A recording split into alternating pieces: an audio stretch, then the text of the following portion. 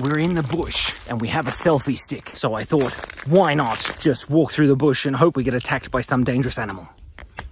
That way I can catch it on camera make some top quality Australian content. Or we could we could just go for a walk together, me and you. Lovely day for it, don't you think? Oh, hello, and welcome to the place here where I just walked in up the hill, not puffed at all.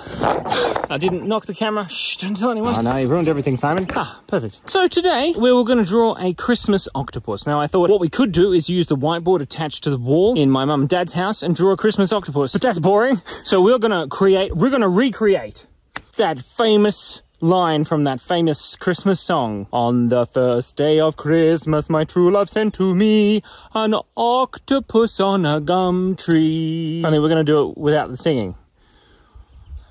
so first next step is number two is make sure you draw your octopus really small so that your mum and dad don't notice that you're drawing all over the native fauna, flora, in um, their uh, uh, country estate.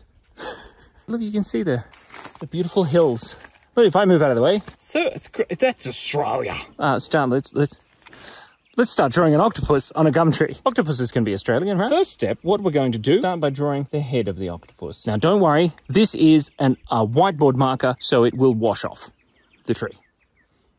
Hopefully. And then how about we draw the Christmas hat on there anyway? The tree bark isn't doing any favors to this texture, but don't tell anyone. Then we're going to add some eyeballs.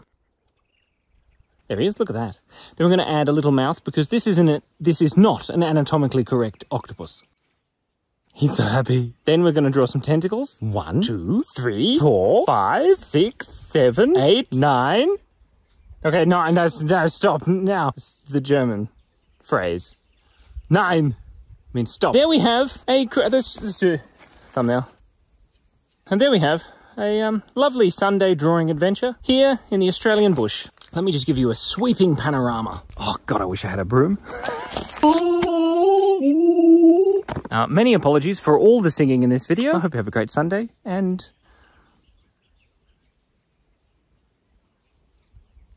I'll see you next time for more Cephalopod Flora Adventures. I only had to say that 16 times to get it right.